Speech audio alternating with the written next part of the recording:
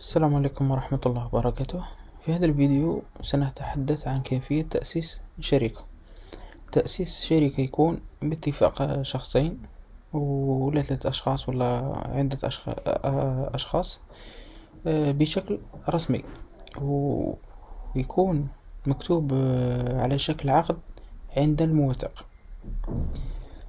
القانون الأساسي للشركة اللي هو statut de la société يضم بيانات أساسية اللي هي أولا اسم الشركة la dénomination de la société و la raison sociale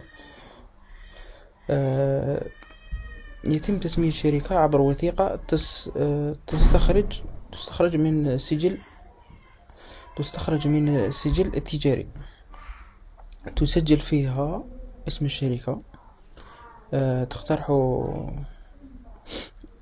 تسجل فيها اسم الشركة وتسمية أخرى مقترح. من بعدها مصالح السجل التجاري تقبل لك الاسم ولا ترفضه لعدة أسباب. مثلا تسمية تكون مكررة وفي حالة قبول التسمية تشد لك ست أشهر. إذا ما استعملهاش إذا ما استعملتهاش في ست أشهر يقدر يطلبها واحد آخر ويمدوله التسمية بشكل عادي. المدة القانونية يجب ألا تتجاوز تسعة وتسعين سنة. أسماء الشركاء معطياتهم عنوان تاريخ الميلاد عنوان الشركة أي المقر الاجتماعي. أيضا تحديد إذا ما كان هناك فروع ثانوية للشركة. نشاطاتها هنا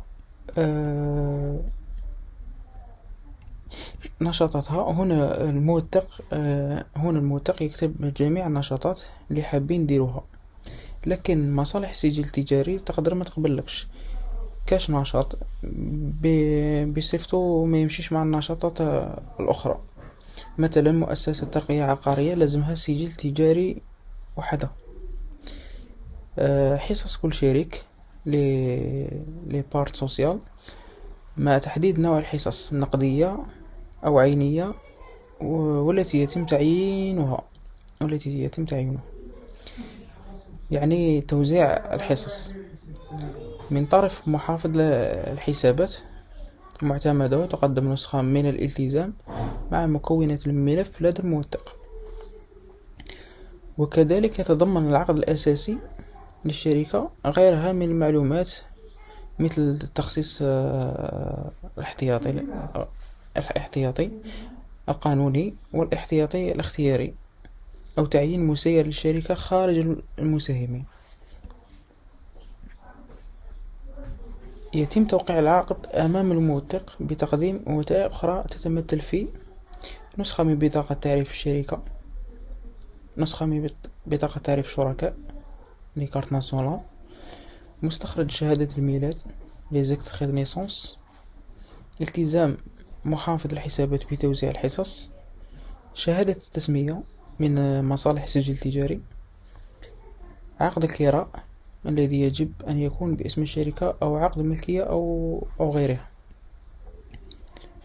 بعد تسجيل بعد تأسيس الشركة تتم عملية القيد في السجل التجاري في أجل آه، قدره شهر واحد من تأسيس الشركة مرفوق بملف كامل يتمثل في آه، نسختين أوريجينال من القانون التأسيسي للشركة. تصريح بالتسجيل في السجل التجاري آه، يكون